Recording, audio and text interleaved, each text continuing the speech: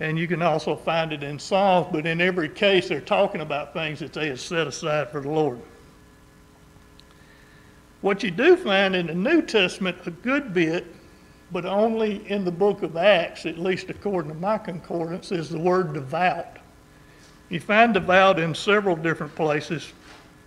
The first place is in Acts 2 and verse 5, and it says, And there, and there were dwelling at Jerusalem Jews, devout men out of every nation under heaven. This is when they had come together and they all spoke different languages, but as the apostles were preaching, then they could they heard them in their own language. They were all described as devout men. Chapter 8, verse 2, it says, And devout men carried Stephen to his burial and made great lamentation over him. Acts 10 and 2 says, and when they were describing Cornelius, says, A devout man and one who feared God with all his house, which gave alms to the people and prayed to God always. I hope that's what we're all ascribing to be. I hope we're all ascribing to be devout men and women who are serving God and who are devoting our time and our efforts to the Lord. When we talk about devotion or being devoted, we talk about being devout, what we're talking about is our relationship to God. We should be seeking to please the Lord. If you want to follow along, we're going to start in the book of Ruth, which tells a story about a young lady and her mother in law the first seven verses of the book of Ruth kind of sets the scene, if you will, for the rest of the book. Uh, and this story is not just about, and you're going to see when we get to the verses, it's not just about Ruth's devotion to Naomi. And she was devoted to Naomi. But what you're going to see happen in this book is Ruth is going to reject the gods of her fathers. Ruth being a Moabite. She's going to reject the gods of her fathers, and she is going to cling to the God, Yahweh, the true God, the God of Israel. So the first seven verses kind of paint the scene. There's a famine in the land. Elimelech and his wife Naomi and their two sons to escape the famine, leave their home, and they go to Moab. Doesn't tell us what Elimelech did for a living. We don't know how he earned. We don't know if he was a farmer, was he a shopkeeper, we just don't know. We don't know why they were in famine. The scripture does not tell us why they were in famine, whether it was a drought, whether it was just too many people in too small a place but they were going to leave and go to Moab. They lived in Bethlehem. When they get to Moab, Elimelech dies, leaving Naomi with her two sons. Her two sons marry two women, local women of Moab, which is Ruth and Orpah, and they lived there for about 10 years and then Naomi's sons died. And so she's left in a foreign land with her two daughters in law. She hears that the drought, or the famine rather, has been lifted. And so she makes the decision to return with her daughter in laws back to Bethlehem. On the way, or maybe before she left, she had a change of heart. And she wanted to convince her daughter in laws to stay in Moab. And we're going to pick up and read some scriptures starting with verse 8 in the book of Ruth. Because I want you to hear her argument that she had for her daughters in law. And Naomi said unto her two daughters in law, Go, return each to her mother's house. The Lord deal kindly with you, and ye have dealt as ye have dealt with the dead and with me. The Lord grant you that ye may find rest, each of you in the house of her husband. And then she kissed him, and they lifted up their voice and they wept. And they said unto her, Surely we will return with thee unto thy people. But Naomi didn't give up. At that point, she says, Turn again, my daughters. Why will ye go with me?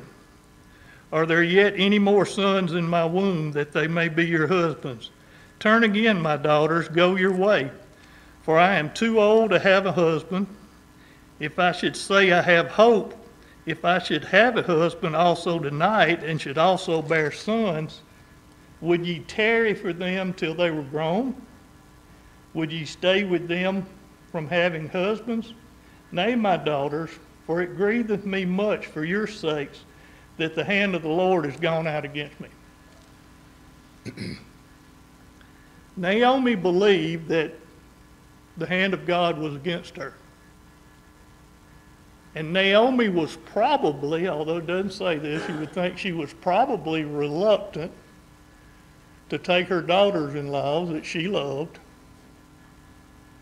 back to her home as they were foreigners.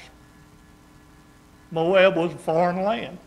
And they had had a history with the Israelites and not a good history with the Israelites. So they would have been foreigners away from home. They were widows without husbands. She was a widow without a husband. And she was reluctant for them to return with her. And they lifted up their voice and wept again. And Orpah kissed her mother in law but Ruth claves to her. Orpah decides, I'm going to go back to mom and dad. I'm going to go back to my parents. Naomi convinces her to stay. Ruth does not. Ruth is going to stay. And in verse 15, you'll see Naomi tries one last time to get Ruth to return with Orpah. And uh, after this is two verses, verse 16 and 17. And if you love poetry, these, it's two of the most beautiful verses in Scripture. Ruth says, Entreat me not to leave thee, or to return from following after thee, for whither thou goest, I will go, and where thou lodgest, I will lodge. Thy people shall be my people, and thy God my God. Where thou diest will I die, and there will I be buried. The Lord do so to me, and more also, if aught but death part thee and me. That's pretty, isn't it? But I want to point something out to you at the end of verse 16 she says something really important. She said, And that God, my God. At this point, she rejects the God of her fathers and takes on God Yahweh. And if this was a children's story, we could stop right, right here and say, And they lived happily ever after. And that's the truth. All of the bad things that have happened to Naomi and to, and to Ruth in this four chapter book of Ruth are over at this point.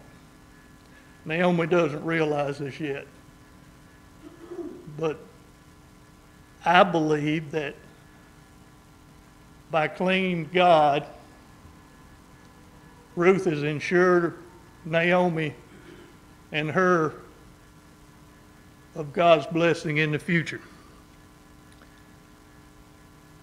In verse 18, Naomi finally accepts that Ruth is so determined that she's just going to go with her. So she gives up trying to convince Ruth to stay. Verse 19 through 22, they return to the small town of Bethlehem, and they're greeted there by the people. And Naomi reveals, just imagine a little bit now, I, I couldn't find out exactly how big Bethlehem was at this time but it was a small town. Like most small town, everybody knew everybody, and when Naomi came back, everyone knew Naomi, and they were glad she was back. But Naomi reveals her bitterness at this point, having no husband or sons. And she actually tells him to call me Mara. So she doesn't want to be called Naomi anymore. She's that bitter and she's that disgusted with the way she is again. But she believes at this point that God has been punishing her.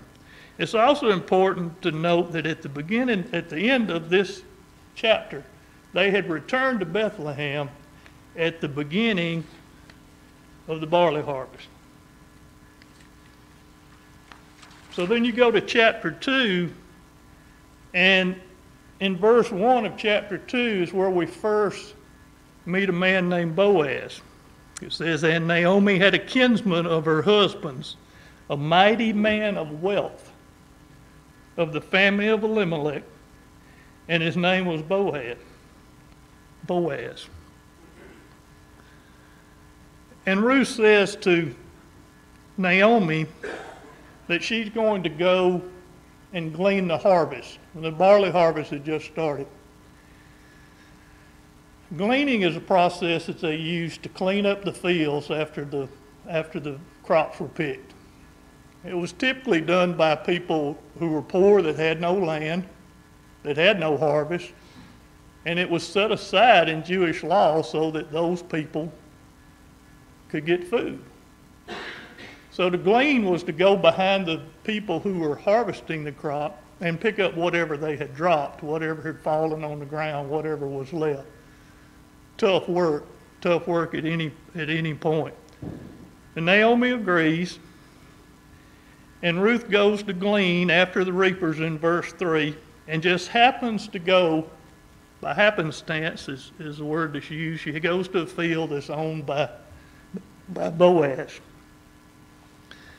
Verses 4 through 6, we said, And behold, Boaz comes from Bethlehem and said unto the reapers, The Lord be with you. And they answered him, The Lord bless thee. Then said Boaz unto his servant that was set over the reapers, Whose damsel is this? Speaking of Ruth. And the serpent that the serpent that was set over the reapers answered and said, is the Moab, Moabitish damsel that came back with Naomi out of the country of Moab. And she said, I pray you, let me glean and gather after the reapers among the sheaves. So she came and had continued even from the morning until now. And she tarried a little in the house. And you're going to see now what type of man Boaz is. He comes to the field, and the first thing he does is blesses the people that are working in the field. And then he's curious about this damsel that he sees. And he says to Boaz unto Ruth, Hearest thou not, my daughter? Go not to glean in another field, neither go from here, hence, but abide here fast by my maidens. Let thine eyes be on the field that they do reap, and go thou after them. Have I not charged the young men that they shall not touch thee? And when thou art thirst, go into the vessels and drink of that which the young men have drawn. So Boaz invites her to continue to glean in his fields. He makes sure that she's not molested. He makes sure that she has drink. She makes, he makes sure that she doesn't go anywhere else. And so she falls on her face and bows herself to the ground and said unto him, Why have I found grace in thine eyes, that thou shouldest take knowledge of me, seeing I am a stranger? And he answered and said unto her, It hath fully been showed me all that thou hast done unto thy mother in law since the death of thine husband, and how thou hast left thy father and thy mother and the land of thy nativity, and art come unto a people which thou knowest not heretofore. The Lord recompense thy work, and a full reward be given thee of the Lord God of Israel under whose wings thou art come to trust. So he blesses her, tells her, I have heard, it has been revealed to me the type of person you are, how you've taken care of your mother in law, how you've stayed with her. And so he is determined at this point to see that she's cared for. She says, Let me find favor in thy sight, my Lord, for that thou hast comforted me, and for that thou hast spoken friendly unto thine handmaid, though I be not like unto one of thine handmaids. And Boaz said unto her, At meal time come thou hither, and eat of the bread, and dip thy morsel in the vinegar. And she sat beside the reapers, and he reached her parched corn, and she did eat, and was sufficed, and then she left. And when she had risen up to glean, went back out to work after eating lunch, Boaz commanded his young men, saying, Let her glean even among the sheaves, and reproach her not. And let some and let fall also some of the handfuls of purpose for her, and leave them, that she may glean them, and rebuke her not. So she continued to pick up barley until the evening. She beat out that which she had gleaned, and she had about an ephah of barley.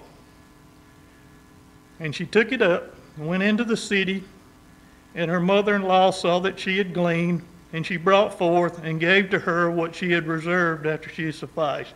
So she took what she had earned that day, which was barley, and she returned it to her mother in law, and she also took her mother in law what was left from her lunch. You kind of get a, an idea of how much she thought about her mother in law and how much she cared about taking care of her mother in law. And her mother in law said unto her, Where hast thou gleaned today, and where wrought thou? Blessed be he that did take knowledge of thee and she showed her mother in law with whom she had wrought, and said, The man's name with whom I wrought today is Boaz. Now, her mother in law recognizes that this is a kinsman and even a close kinsman. And she says to her in verse 22 It is good, my daughter, that thou go out with his maidens, that they meet thee not in any other field. So she kept fast by the maidens of Boaz to glean unto the end of the barley harvest and of the wheat harvest, and dwelt with her mother in law. She had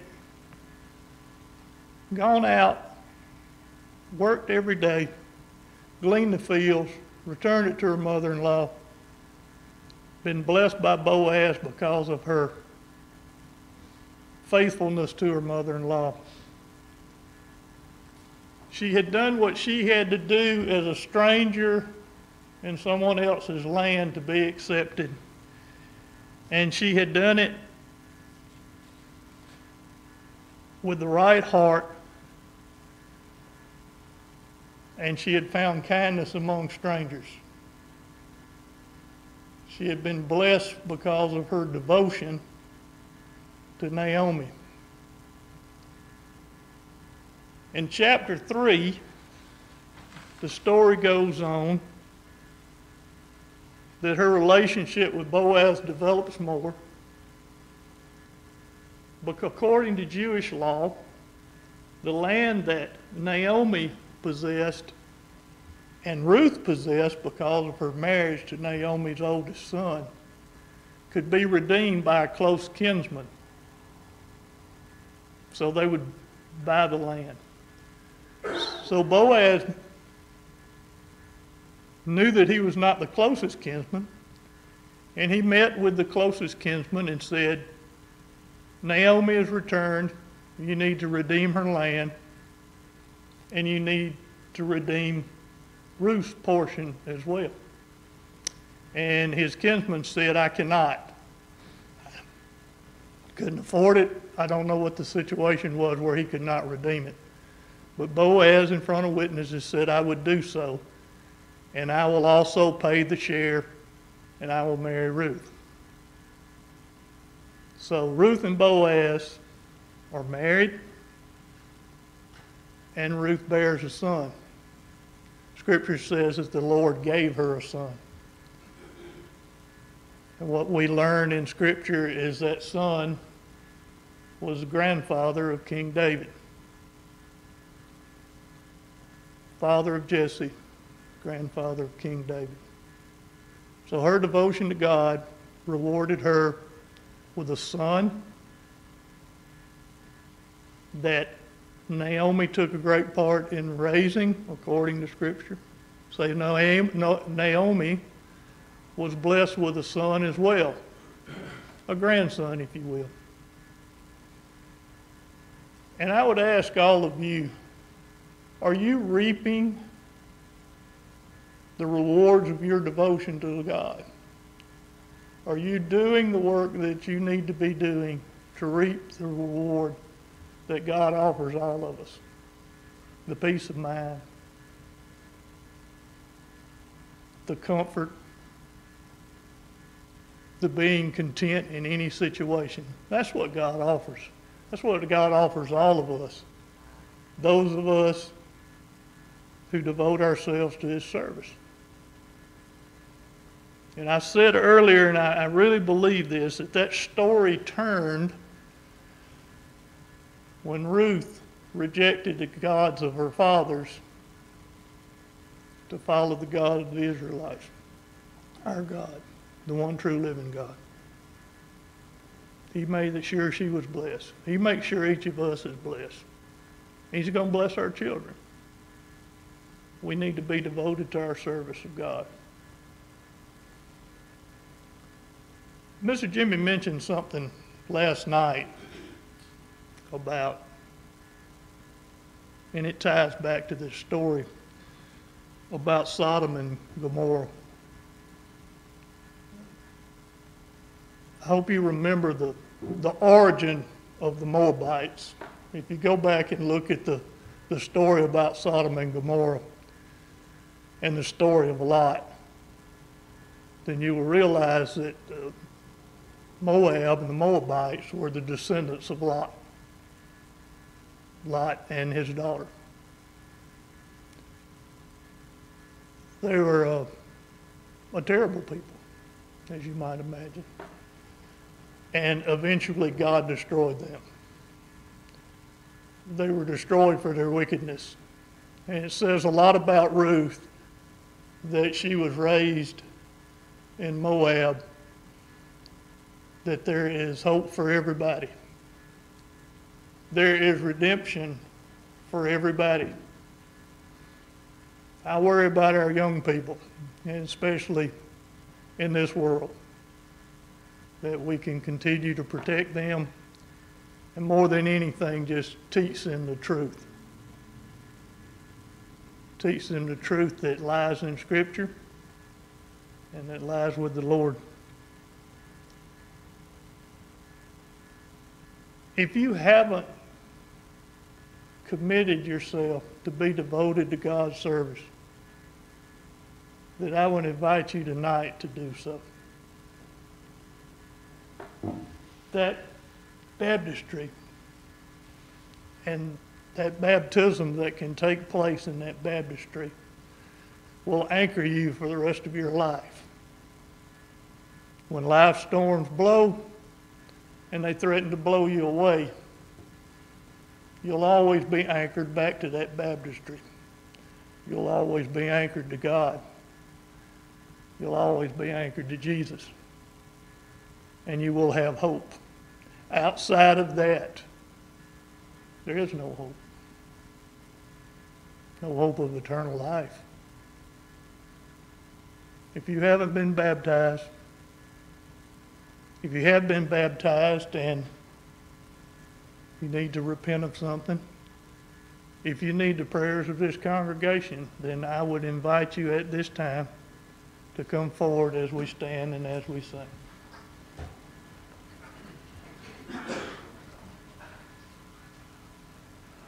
To Jesus for the cleansing power, you washed in the blood of the Lamb.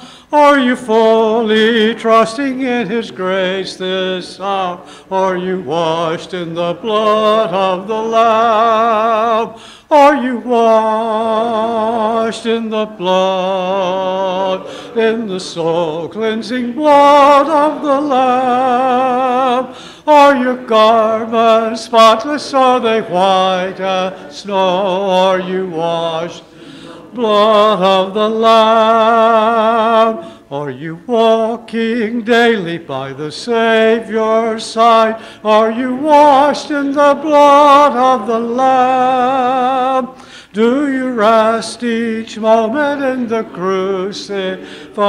Are you washed in the blood of the Lamb? Are you washed in the blood, in the soul cleansing blood of the Lamb? Are your garments spotless? Are they white as snow? Are you washed in the blood? The Lamb. Lay aside the garments that are stained with sin and be washed in the blood of the Lamb. There's a fountain flowing for the soul unclean. Oh, be washed in the blood of the Lamb. Are you washed in the blood, in the soul cleansing blood of the Lamb? Are your garments spotless? Are they white as snow? Are you washed in the blood of the Lamb? 853 for our closing prayer. God is so good.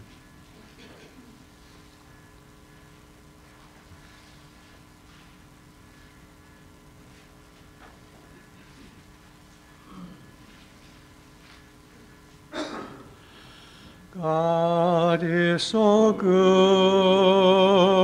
God is so good.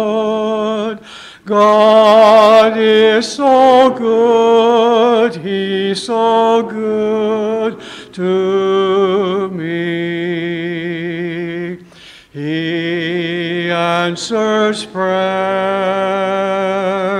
He answers prayer. He answers prayer. He's so good to me.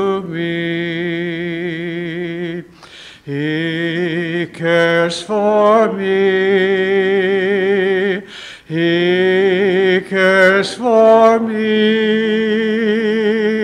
He cares for me. He's so good to me. I love him so. I love him so. I love him so. He's so good to me.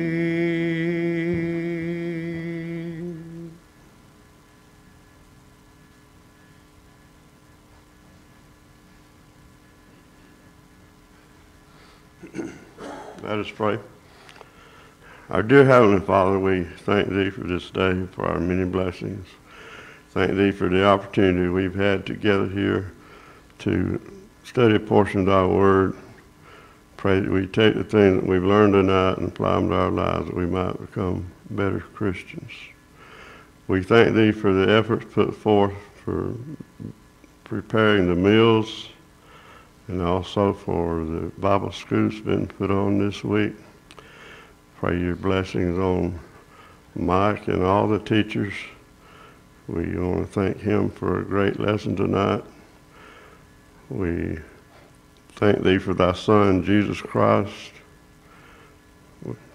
for the many things that he has done for us, for the pattern he set for us to follow. And we pray that you would be with, with us, forgive us of our sins, and continue to bless us. Christ's name we pray.